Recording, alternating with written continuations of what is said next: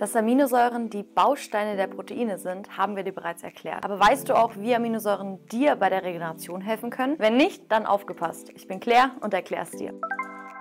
Punkt 1. Muskelreparatur. Nach einem intensiven Training entstehen kleine Risse in den Muskelfasern. Aminosäuren bzw. Proteine, die in Aminosäuren zerlegt werden, können dabei helfen, diese kleinen Risse zu reparieren und das Muskelwachstum zu fördern. Punkt 2. Verringerung des Muskelkaters. Wer kennt nicht den guten alten Muskelkater nach einer anstrengenden Sporteinheit? Aminosäuren können dazu beitragen, den Abbau von Muskelgewebe zu reduzieren, sodass sich der Muskelkater in Grenzen hält. Und Punkt 3. Energieversorgung. Aminosäuren helfen dabei, während und nach Sporteinheiten den Muskelzellen Energie zu liefern. Besonders die BCAAs Leucin, Isoleucin und Valin sind hierbei relevant. Aber Achtung, liegen deinen Muskelzellen zu wenige Aminosäuren und alternative schnelle Energiequellen, zum Beispiel Glucose vor, die über die Leber ins Blut abgegeben wurden, werden Proteinreserven, also der Muskel selbst, abgebaut. Halten wir also fest, Aminosäuren sind essentiell für eine effektive Regeneration. Schau morgen wieder bei uns rein für mehr Infos zur Unterstützung deiner Regeneration.